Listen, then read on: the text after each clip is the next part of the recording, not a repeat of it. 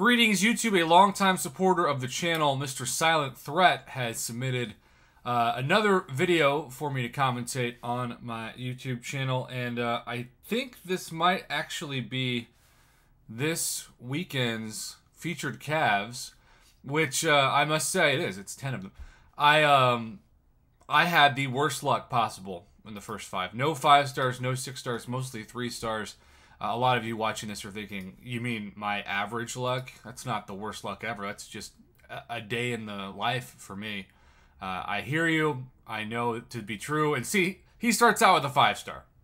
Because that's just what happens with this legend who's had so much good crystal opening luck. It kind of uh, makes my head spin. But uh, yeah. So already in one crystal did better than my first 50 bucks. I did end up getting two five stars by the end. Uh, there's a four star featured champion too. I used to get really excited about that, but because I do the arena and I've grinded my life away, uh, let's just say I can now get the featured four star champion every week. So unless I miss both rounds of the arena, which I've literally never done, uh, I am never going to have a new four star champion pop out of a featured crystal unless they are somehow not offered in the basic, but I don't know in a four star sense how that would be.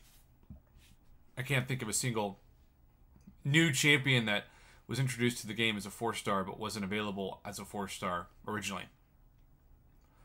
In the crystal, at least. Uh, oh my gosh! Six star Colossus.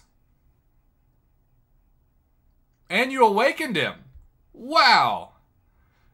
I don't know about you, but every time I see a six star slowing down the reel, I just assume it's going to troll roll over it. I mean, that's that's what should happen. That's what always happens. But not to Silent Threat. Seriously, he just um, doesn't happen to him. And you follow up a six star with a four star. What's up, Psycho Man? Wow, what a $50. Compare that to three three stars and two four stars, right?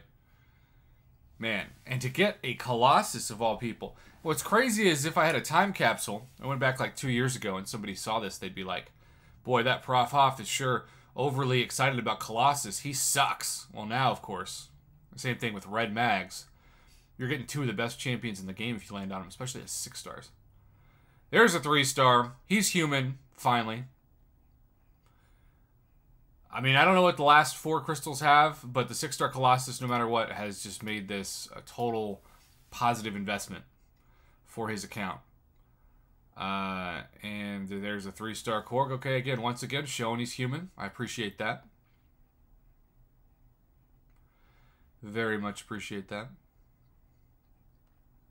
All right, three more. Can he go double six star? Who knows? I mean, he knows, obviously, but uh, we don't. We haven't watched the video yet. And the survey says, okay, over the second six star to get a five star cap. That is his second five star. So two five stars and a six star. It's a minimum drop rate for five stars of 20% out of these 10. And of course, at least a 10% drop rate of six stars and a really, really good six star at that. Two more. And there's a four star upgraded to basic cable. What I love about Cable is, of course, the Apocalypse Synergy. He is now so OP.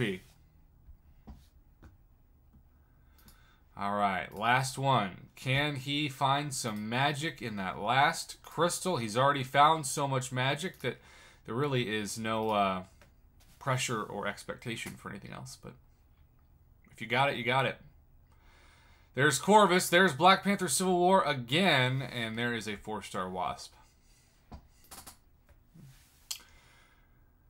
Such a better value than what I got. No Nexus crystals, but that six-star dupe of Cyclops. Or excuse me, Cyclops. God, I'm tired. Colossus. Where is he? There he is. Just incredible. Mm. Mm-mm-mm. Wow.